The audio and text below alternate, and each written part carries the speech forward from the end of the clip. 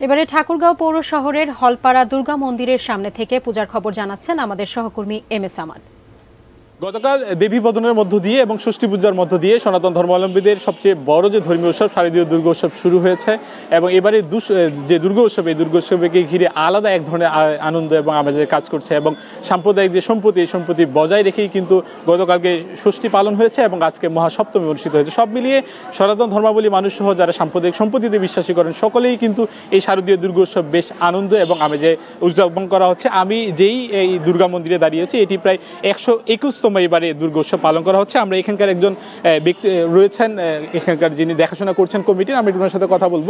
আপনাদের এই এবারে দুর্গা উৎসব নিয়ে কি বলছেন এবং দেবী মায়ের কাছে কি প্রার্থনা করছেন এবারে দুর্গা উৎসব আমরা দেবী মায়ের কাছে সবসময় প্রার্থনা করব।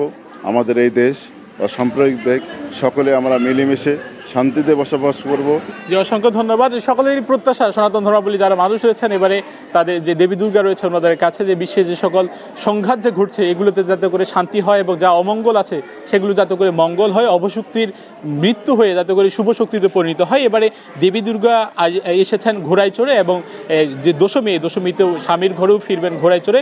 সকালের প্রত্যাশা, এবারে এই যে শুভ শক্তিতে পরিণত হবে, এবারে শারদীয় দুর্গোৎসব দেবী মায়ের কাছে তাদের এমনটাই প্রার্থনা। তো আমার কাছে এই ছিল সবশেষ।